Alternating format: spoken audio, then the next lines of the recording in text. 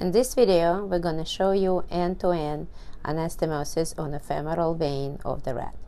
The venous anastomosis is significantly more difficult to complete than arterial anastomosis. Veins wall are much thinner because they lack of smooth muscles, and that makes them easier to damage while you dissecting them and working with them. Once the femoral artery and vein have been exposed, Carefully dissect around the vein using blunt dissection by identifying the vascular sheath.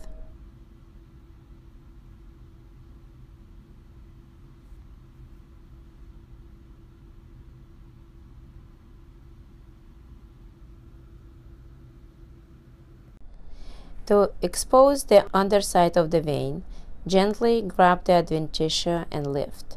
The vein has less adventitia than the artery, so be careful when you manipulate the vessel.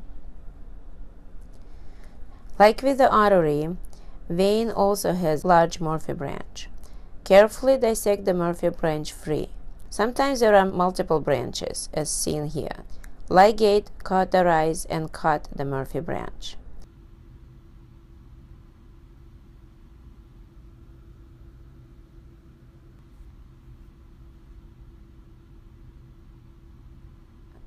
Small branches might be just cauterized and cut without ligation.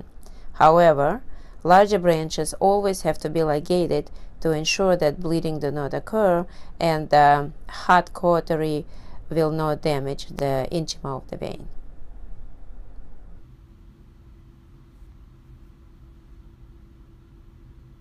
Now with the vein free, place a blue background underneath the vein.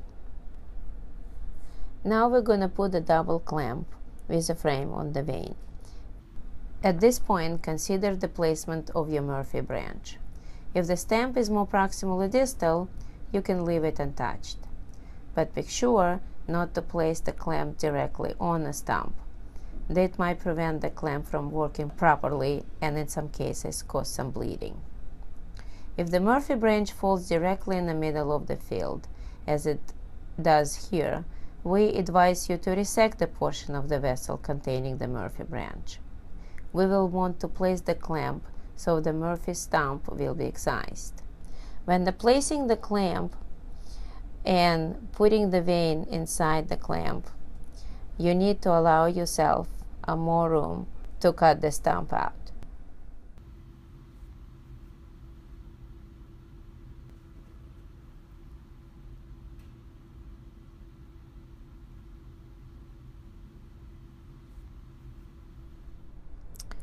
Now we excising the stump of the Murphy branch.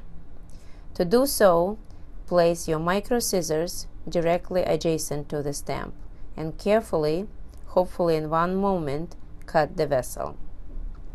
Quickly flush the vessel with heparinized saline so the clot will not form and complete the resection while holding the stump of the Murphy branch with your jewelers and carefully and slowly cutting along the opposite edge. Now we can cut the adventitia from the vein edge. Remember to keep the scissors parallel to the lumen as you cut the adventitia so you do not nick the vessel. Once the adventitia had been cleared, move the clamps slowly together using angled jeweler's forceps with two hands. A total of 8 stitches will be placed during this venous anastomosis. The first we're going to place a 6 o'clock stay. The dilator or micro uh, forceps will be placed in the lumen of the vein to help with the placement of the first stitch. Remember, always take your bites under highest magnification. The position of the first stitch will set the tone for your entire anastomosis. And it is very important to make sure that the stitch is truly in the 6 o'clock position.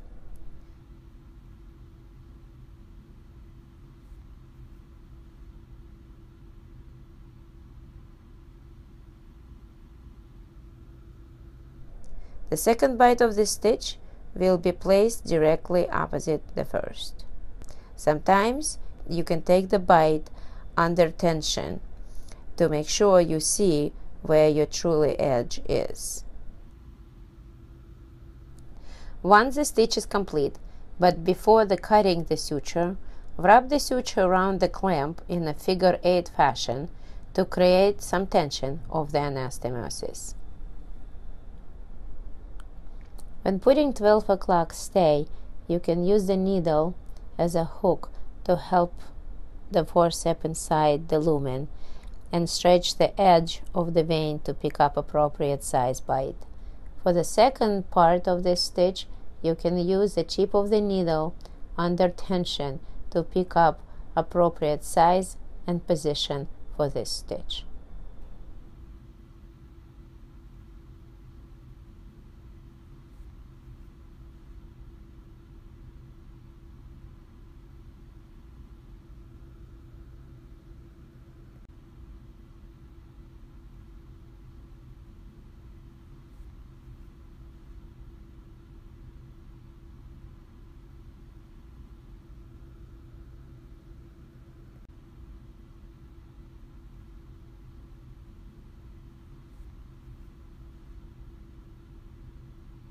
You can place the edge of the vasodilator or straight jeweler's forceps inside the lumen.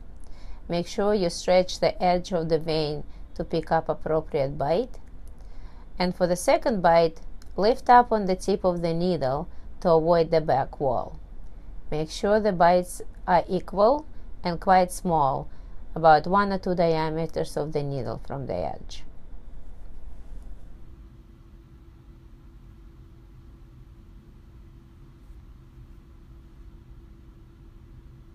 Leave one of the end of a stitch longer to use as a tag to navigate for the two remaining stitches on the front wall.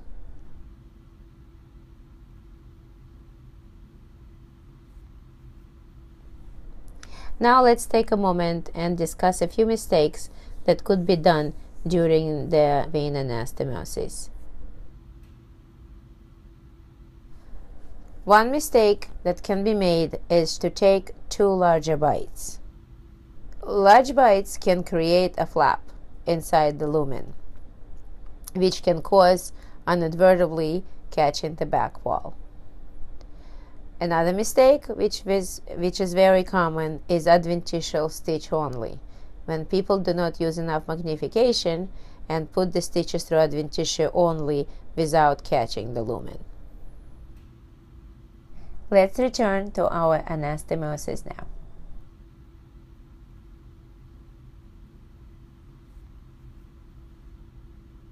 Next, we're going to put two more stitches at the front. We're going to bisect the distance between the stay and 3 o'clock stitch.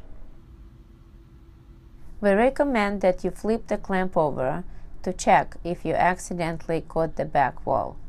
It is easier to pull the stitch out and redo it than to cut it out later.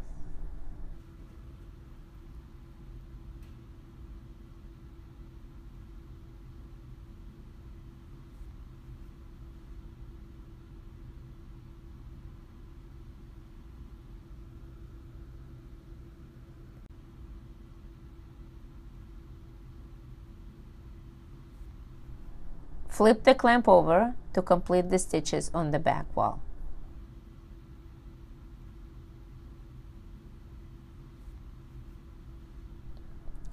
Complete the back wall stitches using the same technique that was demonstrated on the front wall.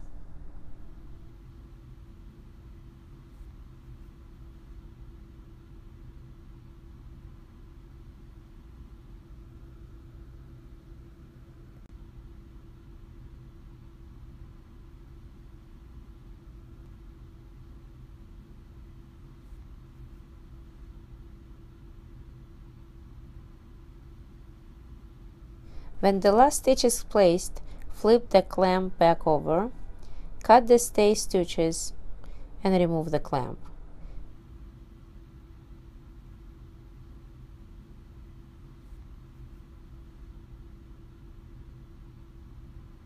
The low blood pressure clamp always removed first.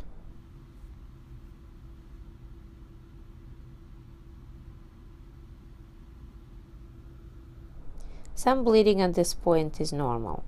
Place the fat pad over the anastomosis for a few minutes. Then remove the fat pad and examine the anastomosis. Unlike the artery, we do not recommend to perform the empty and refill test of the vein. Instead, we recommend you put the pickup underneath of the vessel and follow direction of the flow and see the blood follows your forceps. If the vessel refills with blood, you know that your anastomosis is patent. You can also complete the vein anastomosis with a different clamp that does not have a frame around it.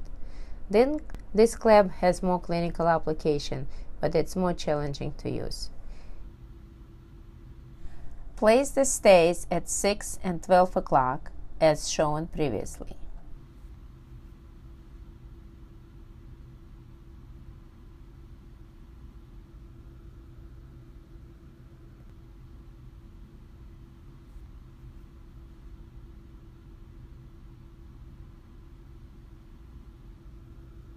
The only difference between using the clamp without the frame is that you will need to use the tails of the stays and the 3 o'clock stitch to maintain the tension as you complete the anastomosis.